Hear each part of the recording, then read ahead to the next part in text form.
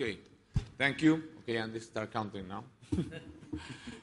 okay, I was going to make a presentation that was uh, much more objective about uh, equality and politics, but I was told by Philipp Rode that no, what they were interested in was a very personal account of, of personal experiences. So I will be talking about uh, personal experiences. But first, I like to say that private ownership and the market by themselves may produce great restaurants or wonderful computers, but they do not produce great cities. Cities are community products, and governments, regardless of whether we like them or not, are the best representation for communities. Even kings or sultans did.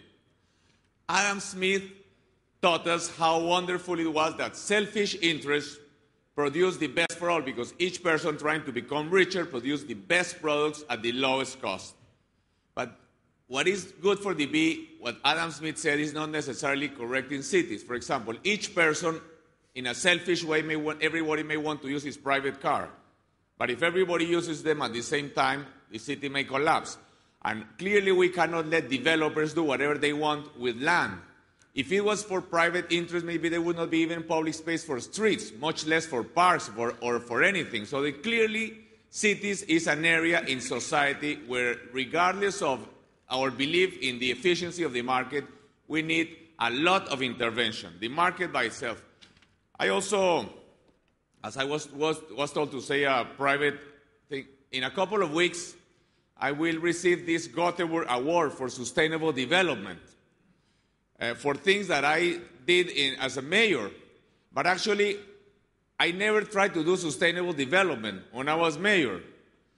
What I was trying to do was to, to, do, to create equity, social equity, and quality of life. And what is surprising is that there is no contradiction. Not only there is not a contradiction, but the same policies apply. When we are talking here about walking and cycling and busways, we did these things not because we were trying to create sustainability, but because we were trying to create equity.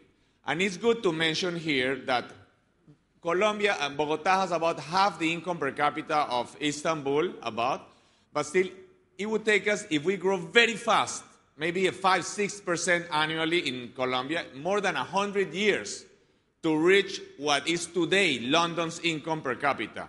Not to catch up to London, but to reach what is today London's so it's important for Istanbul or for India or for any city to, to, to really be careful not to try to copy technologies that are not related. We wanted quality pedestrian spaces in order to improve people's lives for equality's sake, to show respect for human dignity. Sustainability, I would say, begins with social sustainability, with equity and democracy. Every I don't know the Turkish constitution, but I am sure the first article in the Turkish constitution, as in any other constitution, says that all citizens are equal before the law.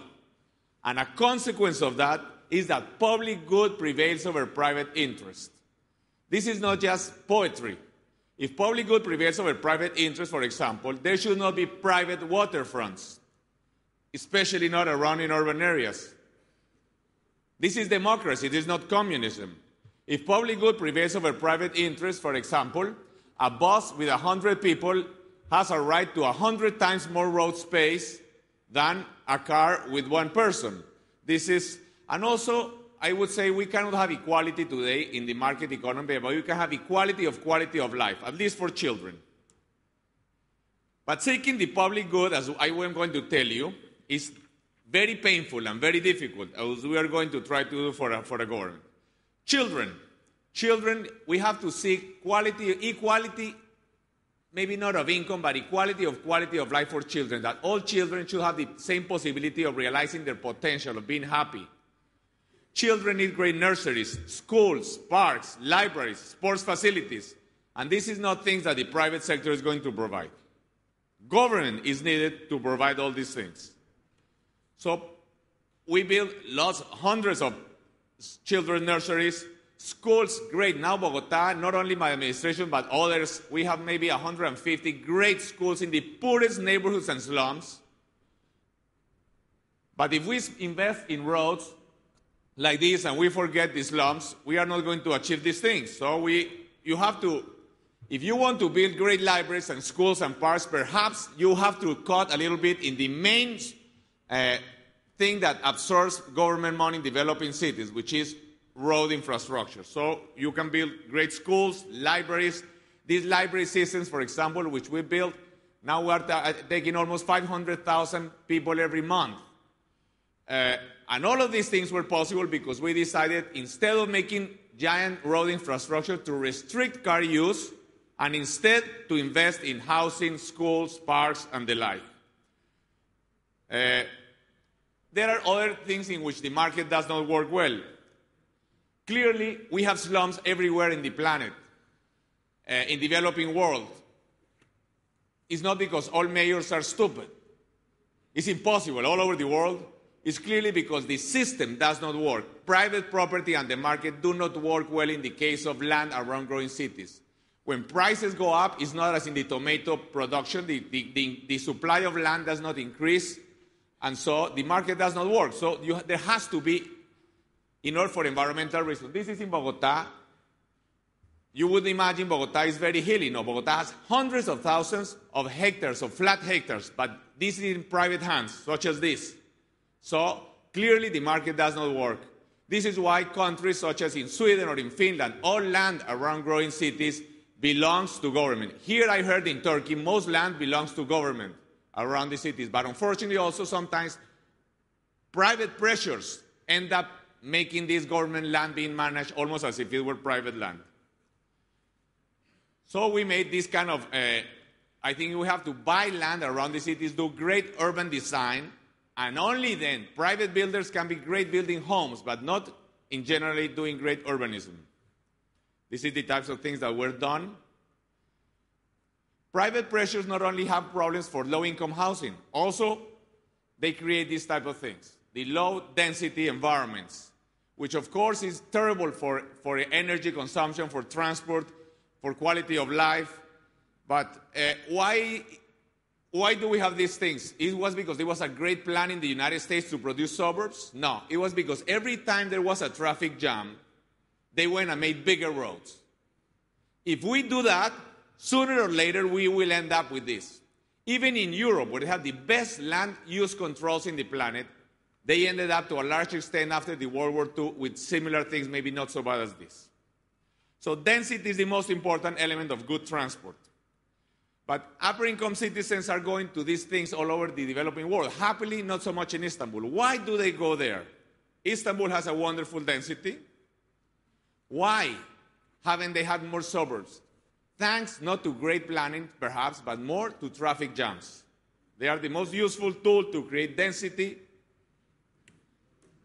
there are more intelligent ways to achieve that, but that's a useful one. This is what we have in Bogota. Why do people use public transport there in Bogota? It's because they love public transport, the environment?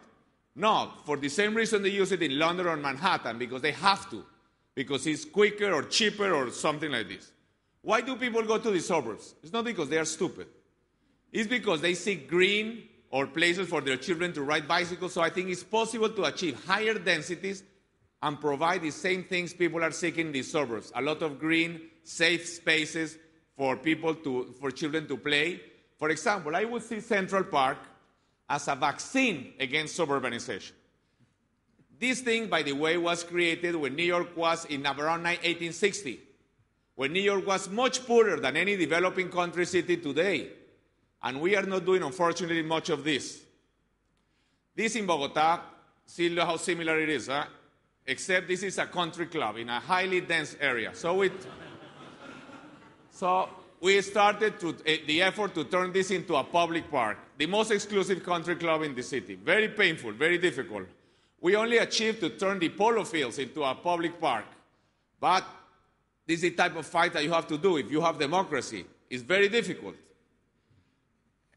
So you have parks, parks again, and plazas here. These things are necessary. This is not some sort. It's as necessary. If we think plane is unnecessary, it's not. It's as necessary as schools or hospitals or roads.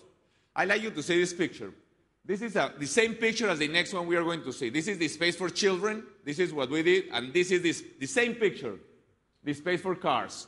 Look, space for children and the sidewalks, what do you do first? I would love to do both, but if you don't have enough money, public space is a government product again.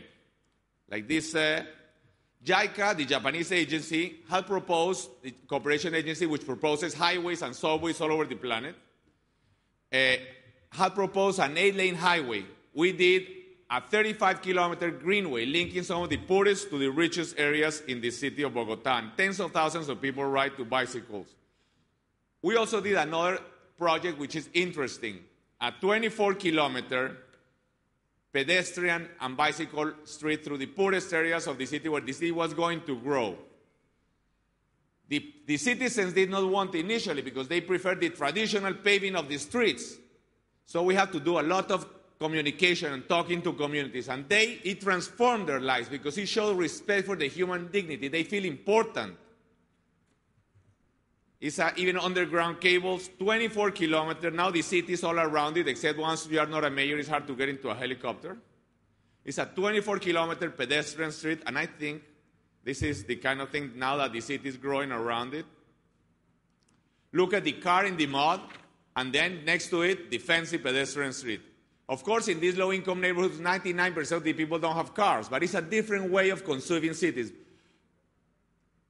But this is not just for the poor, this is in Germany. I think anybody here's life would be greatly better if a few blocks from their home they could enter a 100 or 200 kilometer network of pedestrian and bicycle streets only, just to sit, to ride a bicycle, to read. It's a radically different way of organizing a city. And it's very simple. And it's very difficult, perhaps in New York or Paris, but it's very easy in the new areas, uh, the cities where the new cities are growing, such as in developing countries, in India, in Kenya. We could have hundreds, thousands of kilometers of this with completely useful for mobility, for quality of life, for everything. And it's just a matter of political decision and a little imagination of doing cities different than have been done before. This is again in Munster, in Germany. Quality sidewalks or pavements. I don't know how they call them in here. I would say that's the most, what really makes a difference between an advanced and a backward city is not highways. Even in the poorest African cities where they don't even have water, they have highways. What really makes a difference between an advanced and a backward city is, if we are talking in terms of infrastructure, is quality sidewalks. But low income people are not even conscious they have a right to this. Like this is in India or in Kenya. They are not even conscious they have this right. On the contrary, the upper income people who have the, they are the owners of the television stations, the newspaper, they can convince the poor that to make a great highway is great progress, even when they don't have a place to walk. So it's very difficult for a politician to fight for these things. Especially because most of the time you have to get cars out of here. For example, here, we went yesterday from here to the restaurant all along the, the waterfront, like uh, 15 kilometers. And first of all, it's sad that we have a, such a high velocity road next to the waterfront, but worse, that there were cars parked all along the waterfront, 15 kilometers all along from here to the restaurant we went. It was called, uh, well, whatever, Said Halim Pasha Yalishi, or I don't know how to say it. So, this is lack of democracy. This is what it shows that citizens with cars are first class citizens and those who walk are third class citizens. I was almost impeached for doing this kind of thing, getting cars out of sidewalks. We had many advertising. Uh, we told in TV, for example, just as people cannot, we had this, uh, we don't have time because showing, just as cars as people cannot be in the middle of the street, we had some people playing cards in the middle of the road and having a traffic jam. Cars cannot be in the space for, of people. We also taught people that sidewalks are not relatives of streets. They are not for going from one place to another. They are relatives of parks. And so it is absurd, it's just as absurd to say that you can uh, park, have a parking bay as well as have enough space for people to walk by, as it would be to say that you could turn the main park or plaza in a city into an open air parking lot so long as you leave enough space between cars for people to walk by. My team, I mean, I was almost impeached in this process. It was very painful. My team told me we should let go we even had to send my 12 year old daughter abroad because it was such a horrible environment. The whole city was, because the upper income people were against that, only 22% of homes in Bogota have cars, but they have all the power. So it was extremely difficult. But this is the kind of thing that is painful at first, but people will love it in the end. So this is the kind of cycles that we did. We also told them, I mean, parking is not a constitutional right. Governments have many obligations. Governments have to provide roads, education, hospitals.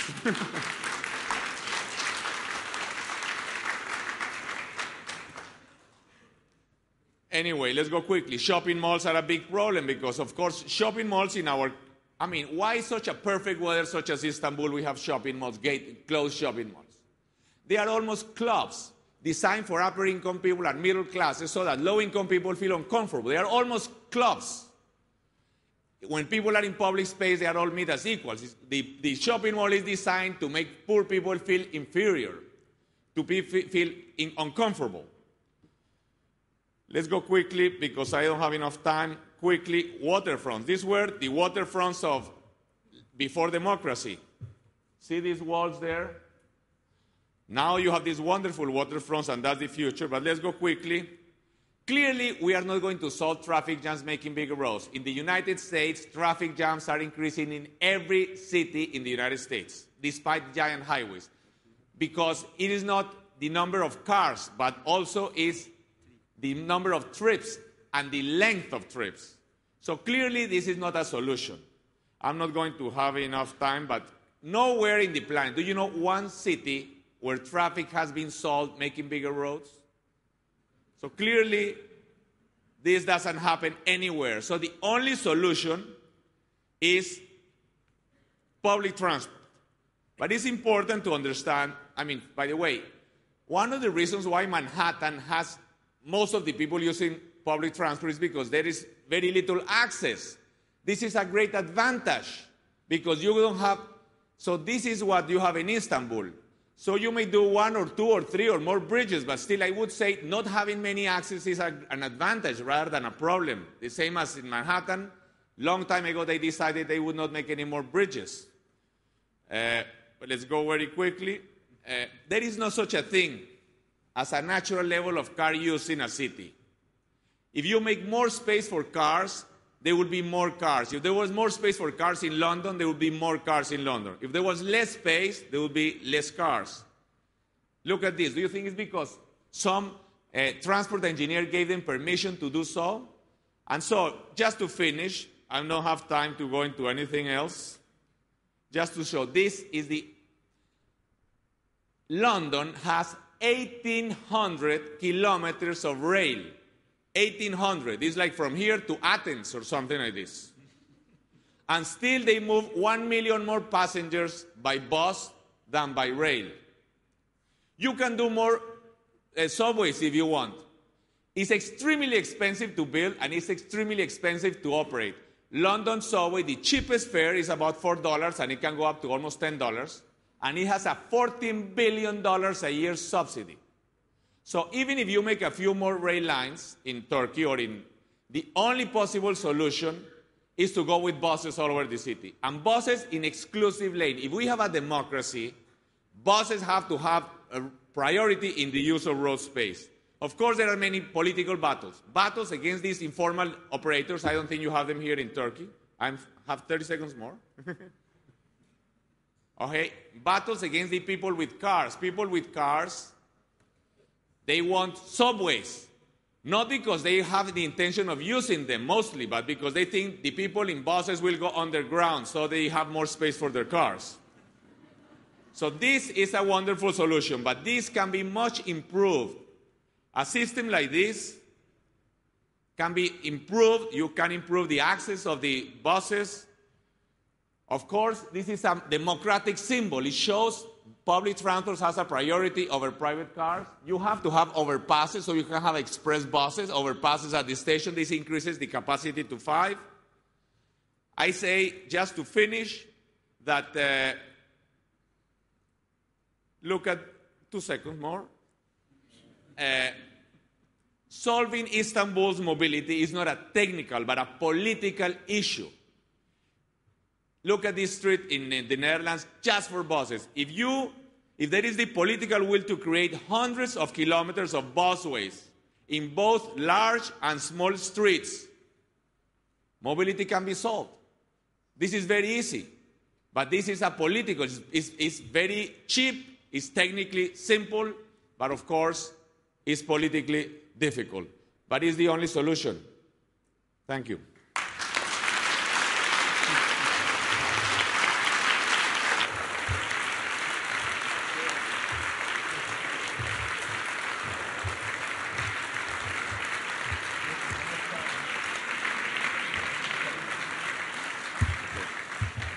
Good. Thank you. Not sure how to follow on that exactly.